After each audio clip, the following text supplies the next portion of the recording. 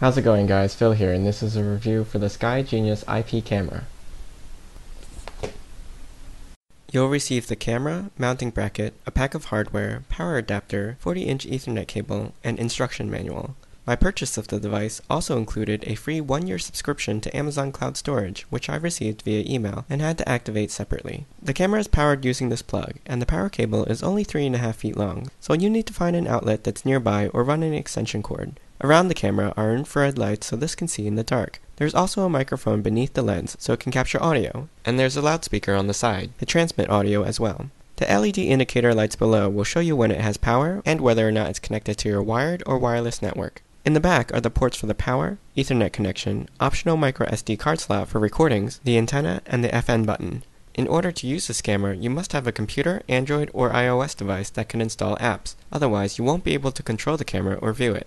I've got an Android phone, so I'll go to the Play Store and look up MIPC by Google and then install it. You can also go to www.mipcm.com and download the PC client. While that's downloading, let's set up the camera. When you plug the unit in, you'll see some of the LEDs light up, but it takes about a minute before it starts its motor calibration cycle. Once the motor stops moving and the lights stop blinking, it'll be ready to use. For setup, connect this to your network via the Ethernet cable, or if your router has a WPS button, press and hold the FN button for 3 seconds and then press the WPS button on your router. Now open up the app. You'll have to register an account first before you use it. Go ahead and choose a username and password, and then sign in. Now you can add a device by clicking on the plus in the top left hand corner. This will bring up a screen to scan the QR code on the bottom of the camera, or optionally, you can type it in manually.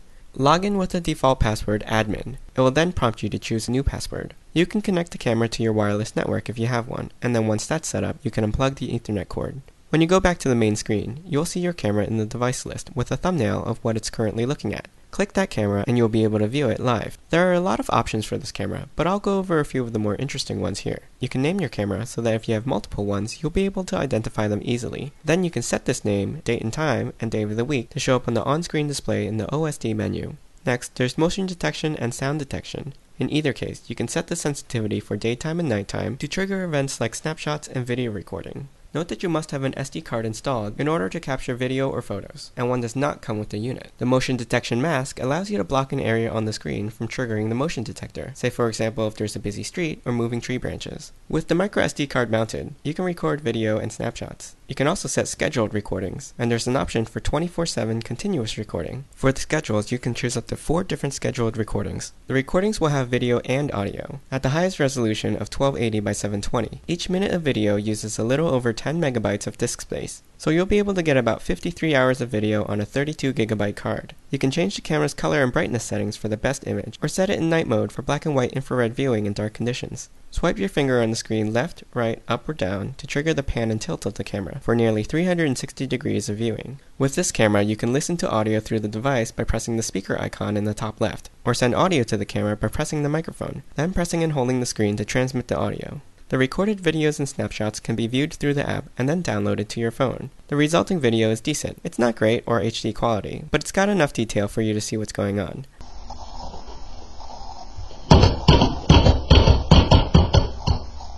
This camera has a lot of great functionality and makes it not only useful as a security camera, but also as a baby monitor.